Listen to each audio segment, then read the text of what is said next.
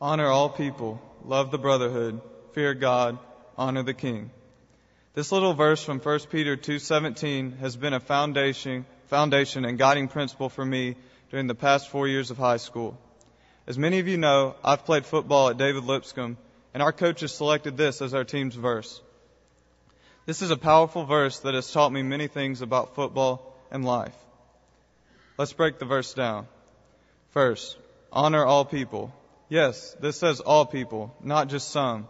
We should treat our fellow man with kindness and respect, even if we disagree with them. This is hard to do in football because the rivalries are so bitter. Uh, I won't name any specific schools like CPA and Goodpasture, but you get the point. However, our coaches would never allow us to take cheap shots or dirty hits, no matter the score or what the other team was doing. We learned to prove ourselves by our play on the field and not by trash talking. Honoring and respecting people is a big problem in our society today, especially in our schools. My school just had a huge anti-bullying initiative where they kicked off a program to decrease bullying. Kids today can be so cruel to those who look or act differently. In the end, they're only trying to mask their own insecurity by putting down others. There is a real chance for Christian students to be leaders and to stand out from the world by honoring all people. Next, it says, love the brotherhood. Football, or any team sport, is a true brotherhood. There's a special, a special connection or bond between teammates. When one person blows their assignment on a play, the whole team suffers. As Coach Mack always says, we are only as good as our weakest link. And trust me, I know this from experience. As a running back, if your offensive line isn't blocking, it's no fun at all. Back in August in a preseason scrimmage game, one of my teammates missed a block and I was blindsided by a blitzing linebacker. He hit my left shoulder just under the shoulder pad and broke my collarbone. That's when I really learned how important it is for each team member to do their job.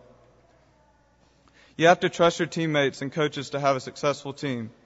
I've noticed in football that certain positions are in the limelight more than others.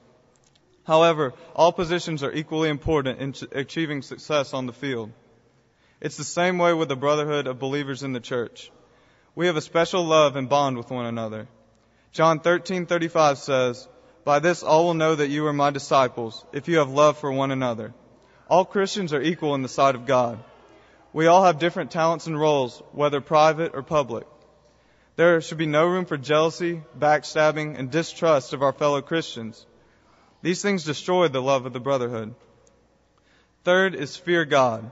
Dale gave us, gave us a great lesson on this this morning. I like the verse that he used from Deuteronomy 10 verse 12, which reads, And now Israel, what does the Lord your God require of you, but to fear the Lord your God? To fear God that means, means that we have a reverence, awe, and respect for Him as creator of all things. This reverence leads us to obedience. In a similar way, players sometimes think that they know more than the coaches uh, what gets forgotten is the knowledge and experiences that the coaches have had from their many years around the game. When the stress level is high and the game is tight, it's very tempting to either change a pass route or a play that you don't think is going to work. However, as a player, it's important to trust the coaches and respect their decisions. They're not going to be perfect, but they've developed wisdom in how to handle the pressure type of situations. From a spiritual standpoint, God is perfect. He knows what is best for us in our own lives. We must revere His Word. We cannot compromise it for our own wants and desires, or even ignore parts of it that we don't want to, that we don't want in our life. By fearing God, we will be obedient to Him in all ways. Finally, we must honor the King.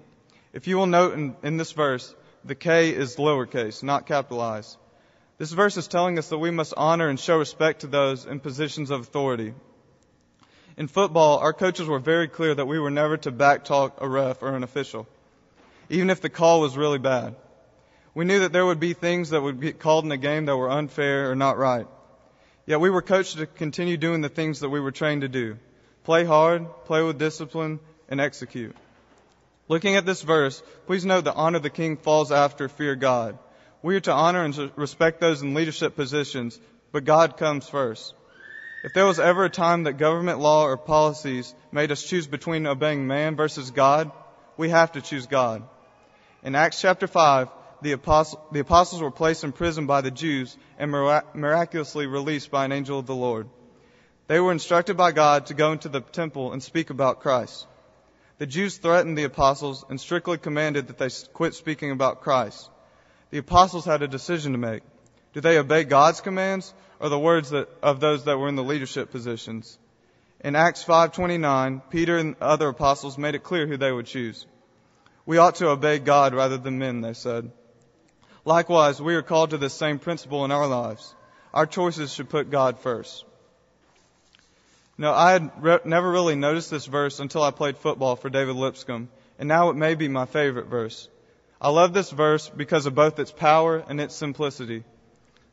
It has 11 words and four different phrases or ideas.